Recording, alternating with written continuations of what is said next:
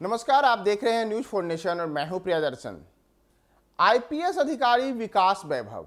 यह नाम तो आपने सुना ही होगा, क्योंकि आईपीएस विकास वैभव इन दिनों गाली खाने के कारण परेशान है। आईपीएस विकास वैभव ने खुद इस बात की घोषणा ट्विटर पर की थी कि उन्हें उनके वरीय अधिकारी द्वारा गाली दी जाती है। उनके लेकर के अभद्र भाषाओं का प्रयोग किया जाता था और इससे वे काफ़ी व्यथित हैं। तो क्या आईपीएस विकास वैभव अब अपने प्रशासनिक कामकाज को छोड़ करके और राजनीति करेंगे?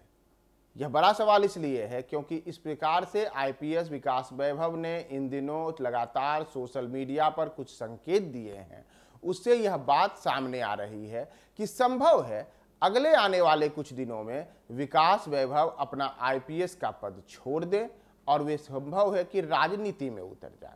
यह इसलिए महत्वपूर्ण है कि अगर आप पिछले कुछ समय की आईपीएस विकास वैभव की गतिविधियों को देखेंगे तो विकास वैभव लगातार अलग अलग कारणों से सुर्खियाँ बटोर रहे हैं और बिहार में काफ़ी लोकप्रिय हैं।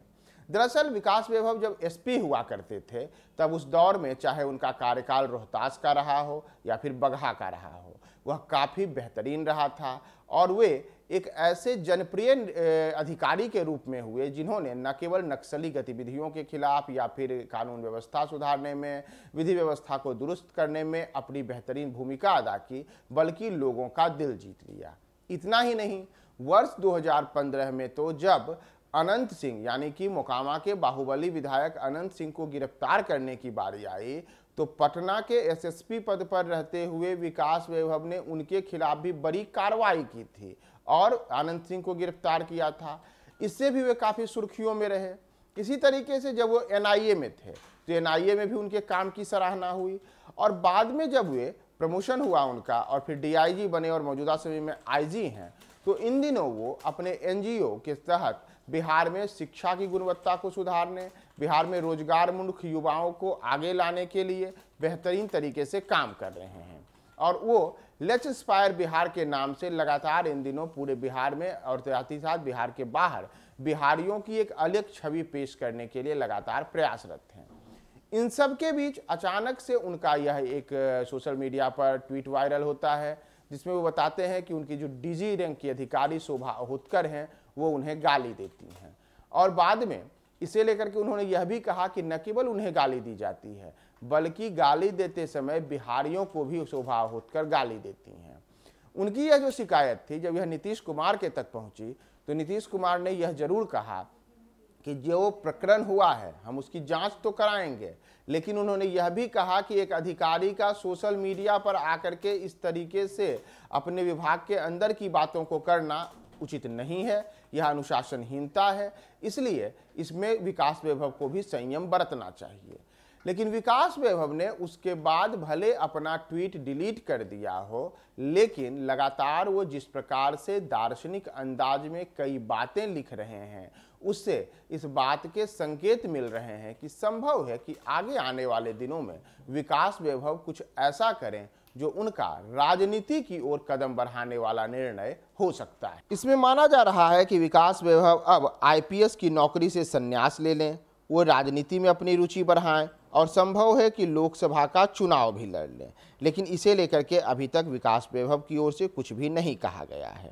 विकास वैभव ने जब गाली देने वाला प्रकरण उजागर किया तो उसके बाद उन्हें नोटिस जारी हुआ है। हालाँकि विकास वैभव ने दो महीने की छुट्टी का आवेदन दिया था, लेकिन उनकी छुट्टी का आवेदन मंजूर नहीं किया गया है। और अब अगर आप देखिएगा कि उनके कुछ हाल फ़िलहाल के जो सोशल मीडिया के पोस्ट हैं तो उसमें उन्होंने यहाँ तक लिखा है कि यात्री मन व्याकुल है, बंधनों से मुक्त होना चाहता है।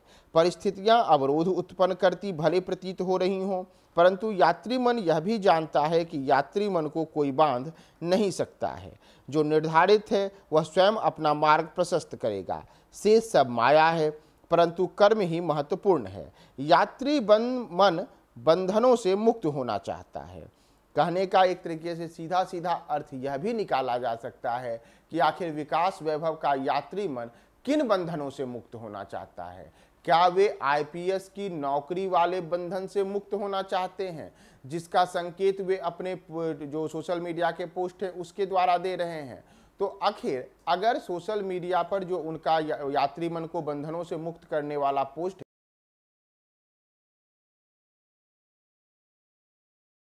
तो क्या करेंगे?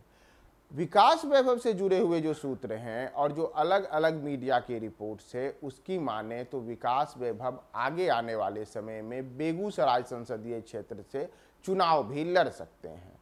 इसे लेकर के उनकी तरफ़ से कोई सीधी सीधी बात तो नहीं की गई है, लेकिन माना जा रहा है कि जिस प्रकरण के बाद वो एक बार सुर्खियों में है, उसके बाद उनका जो यात्री मन बंधनों से मुक्त होना चाहता है वह बंधन से मुक्त वे आईपीएस की नौकरी से हो लें और उसके बाद वे राजनीति में उतर जाएँ। राजनीति में उतरने के लिए उनके पास सबसे मुफीद सीट बेगूसराय संसदीय सीट हो सकती है।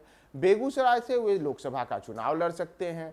बेगूसराय के मौजूदा सांसद जो हैं गिरिराज सिंह, वह अगला जो लोकसभा का चुनाव है, संभव है नहीं लड़ें, क्योंकि जिस प्रकार से भारतीय जनता पार्टी सत्तर वर्ष से ज़्यादा उम्र के नेताओं को राजनीति में किनारे करती है तो आगे आने वाले दिनों में संभव है गिरिराज सिंह को भाजपा टिकट नहीं दे। उस स्थिति में एक चेहरे के रूप में विकास वैभव को भारतीय जनता पार्टी उतार सकती है।